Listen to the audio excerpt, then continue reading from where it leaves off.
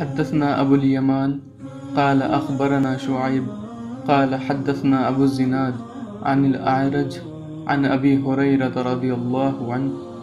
أن رسول الله صلى الله عليه وسلم قال فوالذي نفسي بيده لا يؤمن أحدكم حتى أكون أحب إليه من والده وبلده. Narrated Abu Huraira radiallahu anhu Allah's Messenger sallallahu alayhi wasallam said By him in whose hands my life is